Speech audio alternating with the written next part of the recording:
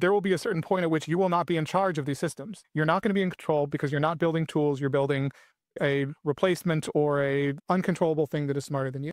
If that is really realized and gotten by the US side and the Chinese side, neither side wants to build the thing that they're going to lose control of. And so they can agree. And there's still a tricky game theory problem of like, does China really get it? And like, do they really get that we get that they get that we get that we they get it?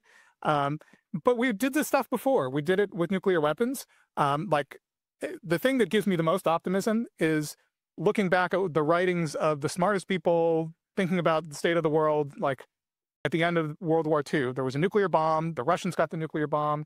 Like Einstein and Teller and von Neumann and all of them were like, it's over. You know, they've got the bomb. We've got the bomb. Everyone's going to have the bomb soon. There's going to be a, a race to to get more and more bombs. At some point, like wars happen and everyone's going to die. And they were super pessimistic. And they had every reason to be. Like that argument is solid. And yet here we are.